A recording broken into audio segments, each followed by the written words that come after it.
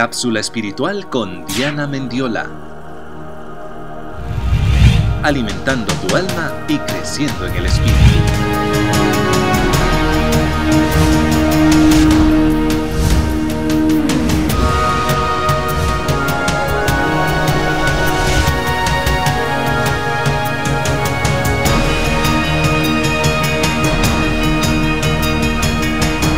Cápsula espiritual con Diana Mendiola.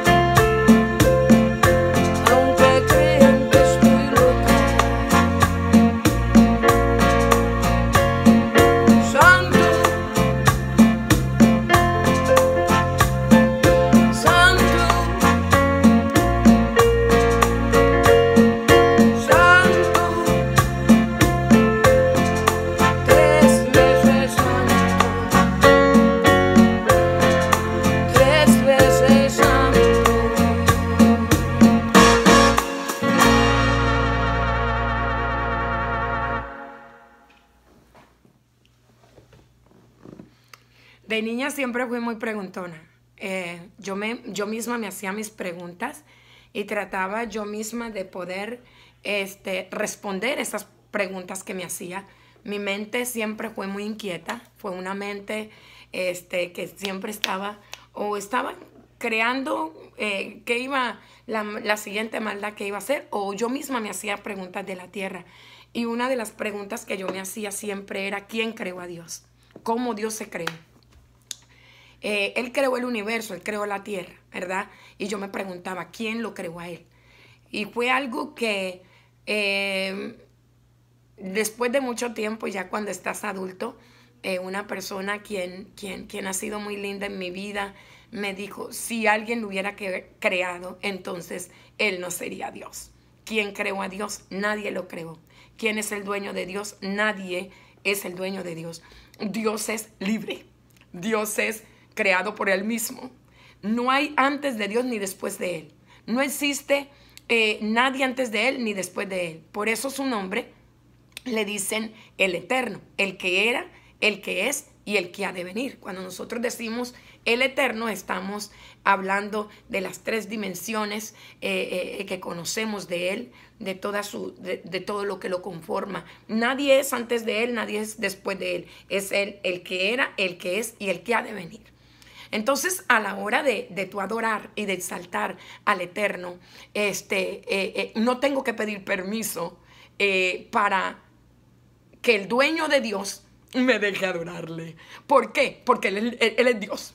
Y si hay alguien que tiene que recibir o rechazar mi alabanza, es el Dios Todopoderoso. No tengo que decirle a nadie, eh, eh, eh, tu religión me deja leer la Biblia. Es que me gustaría leer la Biblia, pero como ese Dios es tuyo, tú lo tienes marcado, tú le pusiste una marca, tú lo sellaste. Entonces yo te tengo que pedir permiso a ti, a ver si o adoro o, o puedo leer la Biblia o todo lo que se refiere a Él. Cuando canto al Dios del cielo y al que murió en el madero, no tengo que pedirle permiso a nadie para ver si lo hago o no lo hago, para ver si la persona está de acuerdo como yo adoro o como no lo adoro. Eh, eh, tenemos esa libertad plena de poder adorarle, de poder exaltarle y es él quien decide si le agrada lo que estoy haciendo o si no. No existe ningún humano que tenga eh, la medida exacta o la balanza exacta para decir esto me gusta o esto no me gusta, esto lo rechazo o esto no lo rechazo, porque realmente la alabanza no se hace para ningún humano, la alabanza se le hace al Eterno. Unos decidieron cantarle a las flores, otros decidió cantarle a la mujer, otros decidieron cantarle a un hombre o a un ser humano. Hay, hay personas que decidimos adorarle al Eterno. ¿Pertenecemos a algún grupo religioso? No. Simplemente le adoramos y le exaltamos. ¿Por qué? Porque Él no tiene dueño. No necesito ir a preguntarle a ninguna religión, a ver, ¿tú qué piensas? ¿Será que me prestas a Dios para adorarle? No, Él es Dios. Cuando nosotros pertenecemos a sectas, eh, entonces es cuando tú ves que todo hay que pedir permiso, eh, con quién voy a hablar, con quién puedo conversar, qué cosas puedo ver, qué cosas, eh, dónde puedo estar, dónde no puedo estar. Y, se deja de que sea un consejo, sino ya no es que te dan un consejo para que tú tengas el libre albedrío de aceptarlo o no aceptarlo, ahí es una obligación, entonces ahí se convierte en una secta. Cuando usted tiene que preguntar qué cosas puedo ver, qué cosas puedo decir, no vayas a tal parte, no vayas a, tal otra, y eres controlado por, por ese dominio. Entonces, eh, eh, estás en una secta. Porque este, Dios no necesita que uno, ni Dios se mete en eso.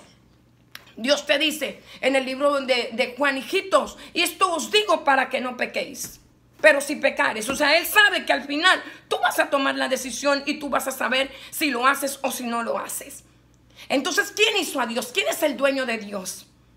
¿Quién es el dueño de su palabra? ¿A quién le tengo yo que pedir permiso para adorarle? ¿O a quién le tengo yo que pedir permiso para leer su palabra? ¿O a quién le tengo que pedir permiso para predicarla o para hablar de él? ¿O a quién le tengo que pedir permiso para mm, subirme a una plataforma y exaltar su nombre? A nadie le tengo que pedir permiso. Simplemente el, el ser humano está esperando que esa alabanza que sale del corazón sea aceptada por el Dios Todopoderoso y que el Dios poderoso se agrade de lo que yo le estoy ofreciendo. A la hora de exaltarle ni de, y de servirle, no necesitas pertenecer a un grupo religioso. Tú no necesitas la, la, la, la, la dirección, o no la dirección, pero no necesitas que te digan, ok, puedes ir. Tú le puedes adorar y tú le puedes exaltar. ¿Por qué? Porque es tu Dios. ¿Y por qué? ¿Y cómo lo voy a adorar? Como tú quieras. ¿Qué sale de tu espíritu adorarle? ¿Cómo sale de tu corazón exaltarle?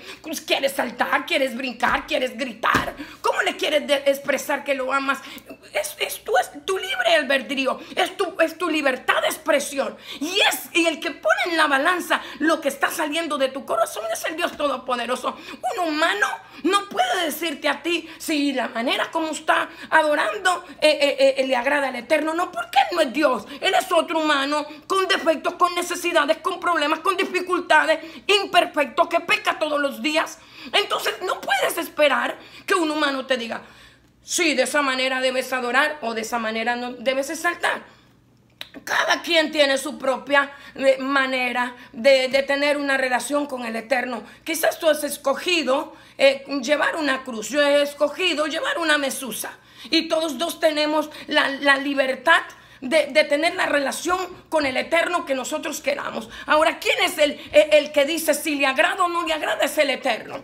Yo no te puedo decir a ti qué cosas tú puedes eh, hacer y, obligado tienes que hacerlo. No, hay gente que decidió no adorarle y el Eterno también lo dejó vivir. Y dice la palabra del Eterno que, que el sol sale para buenos y malos. O sea que cuando sale el sol, sale para el violador y para el asesino. Y esa es la libertad que hay en el Eterno. Él no me obliga a servirle. Es mi deleite servirle porque no hay otro camino donde ir. Solamente Él tiene palabras de vida eterna. Yo no le puedo obligar a la gente que crea como yo creo. Yo no soy la dueña de Dios. Hay gente que le adora cantando. Hay otros que le, adoran eh, eh, eh, rezando. Hay otros que le adoran adorando. Hay otros que se arrodillan. Hay otros que oramos de pie. Hay otros que danzamos. Hay otros que no danzan. Pero como yo no soy la dueña del eterno, yo dejo que sea el eterno quien ponga en su balanza si eso que está saliendo de ese creyente le agrada o le desagrada. No puedo crear a Dios y a los que le sirven a mi imagen. Porque yo no soy la dueña del eterno. Un musulmán no tiene que pedirle permiso a un cristiano a ver si lee la palabra. Fíjate que estoy pensando en comprarme la Biblia. ¿Será que me la puedo comprar? No. Si él le da la gana, se lo compra. Y la gente suele adorar como ellos quieren. Y esa es la libertad que tenemos en el Eterno. Cada quien formó con el Eterno su relación que necesita. Y si hay otra persona que quiere venirte a, decir cómo es que tú le tienes que adorar, porque así como él piensa es que tú le tienes que adorar, es un sectarista. Y, y, las personas de la secta lo único que hacen es poner un yugo, un yugo más en medio de todas esas cosas con las que tenemos que batallar. ¿Quién lo creó? Nadie. ¿Quién creó el universo? Él lo creó. ¿Y quién creó al que creó el universo? Nadie lo creó. Él es Dios. Antes de que todo existiera, Él ya existía. Y es a Él a quien rendimos honra y es a Él a quien rendimos gloria. Y quizás a las otras personas le parece locura, quizás a las otras personas lo que hacemos no les parece que es de Dios, sino que brujería, a otros no le parece que es de Dios, sino que eso ya está abolido, sino eh, cada quien con sus cosas, pero en tu lugar. Sin tocar la, fe del otro de la manera como toca el otro. Porque eso es personal. Dios no tiene dueño. A Dios no lo marcó una religión y esa religión le pertenece. No, no todos los que hablan Biblia tenemos que pertenecer a un grupo religioso. No todos los que hemos decidido tomar el tema de estudiar la palabra del Eterno tenemos que pertenecer a un grupo religioso. porque lo estudias? Porque me gusta, porque quiero, porque me da la gana. No necesito preguntarle a nadie, ¿me prestas tu Dios? No necesito. Él es Dios. Y quien decide si lo que sale de mi corazón y lo que sale de mi vida le agrada o le desagrada es Él no un humano. No importa si yo tomo mi, Biblia hoy y me siento a estudiar y, enciendo la cámara y comienzo a enseñarte y tú no estás de acuerdo con lo que yo enseño, es que no te lo estoy enseñando a ti ni estoy hablando para ti. Estoy hablando del eterno. Quien quiere escuchar, escuche. Quien no, pues se vaya. Pues eh, vas a escuchar cantidad de gente que dice ciego guiando ciegos. Ok, deja que los ciegos se guíen. Pero eso a ti en qué te afecta. Cada quien tiene que dedicarse a su relación. Quizás hay mucha gente que no te cree en la crucecita que llevas. Cuando tú llevas la cruz, hay gente que te va a decir, eso tampoco es de Dios. Y yo llevo la mesusa y tú me vas a decir, eso tampoco es de Dios. Además que no eres judía. Además que tú, tú, tú, tú, tú, tú, tú. Pero tú no eres el dueño de Dios. Y lo que yo estoy haciendo, lo estoy haciendo para agradarle a Él y no para agradar a un ser humano. Si esa, si, si, si, si esa persona eh, con la, en la que estás te tiene que decir hasta cómo adorar, te tiene que decir cómo vestirte. Tú estás en una secta. Nadie tiene que vestirse o hacer algo eh, eh, eh, para agradar a un hombre o para pertenecer a cierta comunidad. Porque si entonces eso existe, usted tiene un problema. Yeshua fue claro y conciso. Yeshua no dijo exactamente, y así me vas a adorar. Vas a levantar las manos y saltarás tres pasos para adelante, tres pasos para atrás. Yeshua no dijo, mira, cuando tú me vayas a adorar, eh, eh, eh, mi espíritu te tiene que emborrachar y entonces tú pierdes el control de sí y yo te muevo aquí, yo te muevo allá y tú pierdes el... No, el espíritu está sujeto también al profeta. Y si hay veces que el espíritu divino te toma y hace ciertas cosas, también tienes que respetar que hay gente que le adora con entendimiento. Y todos buscan adorar al Eterno. Y no es un humano quien dice quién está bien y quién está mal. Es el Dios Todopoderoso. No tengo que creer como tú para poder adorarle. Tú no eres el dueño de Dios. Yo no tengo que pensar como tú para poder adorarle. Yo puedo leer la palabra, pronunciar su nombre sin pertenecer a tu grupo religioso. Y nadie me lo prohíbe, ni el gobierno, ni un ser humano, ni, ni una iglesia, ni un concilio. Nadie me lo puede prohibir porque Dios es libre. Nadie es dueño de él. Dios es libre.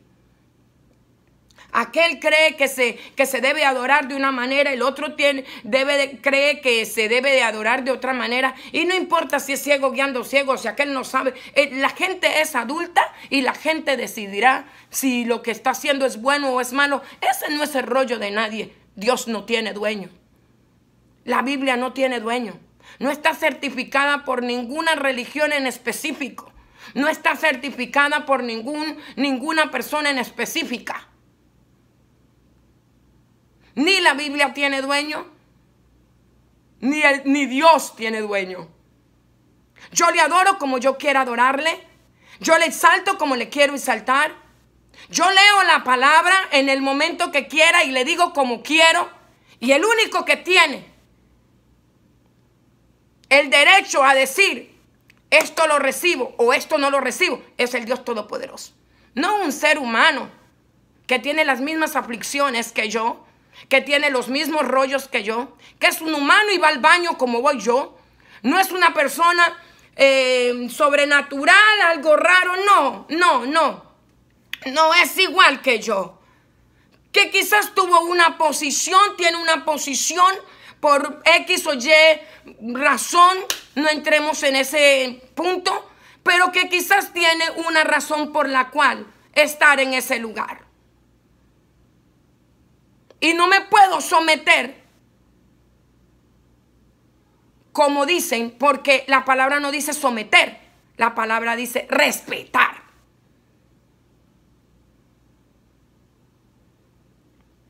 La palabra no te llama a someterte. La palabra te llama a respetar la autoridad. Someternos, nosotros nos sometemos al, Todopoderoso, al, al, líder, se respeta. Pero el líder no pasa a, decir cómo voy a tener la relación en casa. El, el líder no, él da un consejo. Al final, quien lo sigue decide si sigue el consejo o no lo sigue. Pero no es obligado. El líder no se puede enojar porque le dio un consejo a la persona y la persona no lo aceptó. Si, si el líder se enoja porque dio un consejo y la persona hizo lo que quiso, entonces estás en una secta. Dios no tiene dueño. Ni un cristiano es dueño de la Biblia, ningún concilio es dueño de la Biblia, ni, ni las 37 mil eh, eh, eh, doctrinas que existen cristianas son dueños de la Biblia. La Biblia no tiene dueño, porque Dios no tiene dueño. La Biblia no tiene marca, porque Dios no tiene marca. Así que tenemos la libertad de hablar del Eterno, de servirle, de cantarle a su nombre, aunque no pertenezcamos a un grupo determinado. Tenemos la libertad de exaltar su nombre. Si quiero exaltarle con pandero, si quiero danzar, si quiero tirarme al piso y volverme a levantar, si quiero gritar, si quiero hablar en lenguas, si quiero hacer liberaciones, si quiero, todo eso es una cosa íntima entre el Eterno y yo. No tienes que pertenecer a un cierto grupo para que tú puedas servir, para que tú puedas ir a los hospitales y llevarle comida, a, hacerle una visita a un enfermo, llevar una oración a un enfermo. No necesitas pertenecer a determinada religión para ir a la calle y llevarle comida a los necesitados. Tú no necesitas pertenecer a un grupo religioso para hablar de su nombre. Él es libre. Él no tiene dueño. Ninguna religión le dijo, ok, ahora como nosotros somos fulanos de tal, pum, te sello Dios, me perteneces. Y tengo derechos sobre tu nombre.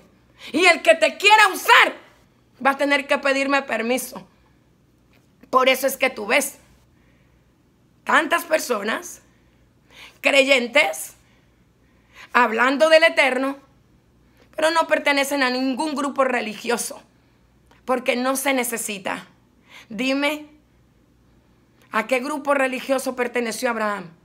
Tuvo una intimidad completa con el Eterno. Lo llamaron el Padre de la Fe. Pero ese hombre, donde quiera que llegaba, formaba un altar. Y ahí es donde conocemos los cuatro altares que Abraham formó. Cuando Pablo, el Eterno lo constituye apóstol, ni, nadie le creía que era apóstol pero eterno, por encima de todas esas cosas que le decían a Pablo, no, no, no, el eterno lo declaró, porque solamente se necesita tener una relación íntima con el eterno. Nos congregamos y tenemos un líder espiritual, claro que sí, lo respetamos, pero no estás ni sujeto porque no es la palabra. Se respeta y se honra no por él, por la decisión del Eterno. Porque el Eterno, cuando el Eterno lo coloca, fue quien decidió que él estuviera ahí. Y como el Eterno lo decidió, yo respeto la decisión del Eterno. No respeto. No es que lo tenga que someterme y sujetarme por él.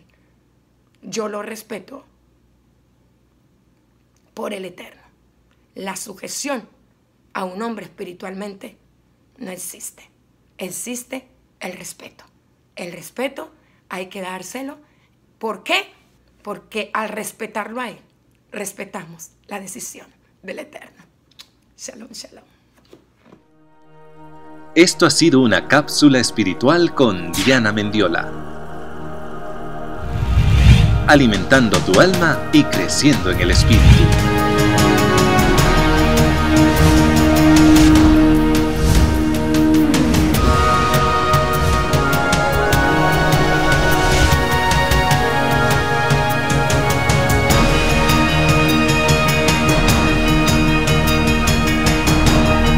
Cápsulas espirituales en dianamendiola.com.